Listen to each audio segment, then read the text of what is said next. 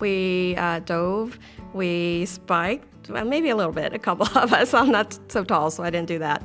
Uh, but we served and we got through the first round. So we were very surprised, but we enjoyed ourselves. My name is Brenda Melendez, and I'm a lead analyst in the Budgets and Forecast Department.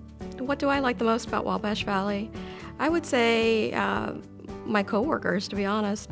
Uh, we work hard, but we also like to have fun. This year, I was co-captain of the uh, corporate challenge, and we fielded uh, several teams, but one of them was a volleyball team, and I participated on that with several other um, employees. Day to day, you're meeting people, you're talking to people. It's about your job, but outside of work, it's a, it's a way to meet people and to talk to them and learn a little bit about them, not just their work life. One of the differences about working for a nonprofit is it's all about the customer, or in this case, the member. That's one of the first things I had to learn is they're not customers, they're members, because they have a vote and they have a say. I guess I'm most proud of uh, the milestone that I've reached at Wabash Valley is putting together an integrated resource plan. It is um, more of a telling a story, and we have to present it to the Regulatory Commission.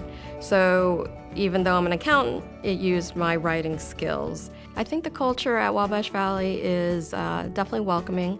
It is, I would say, casual, which in a, in a good way. Uh, you don't have to worry about the pecking order as much.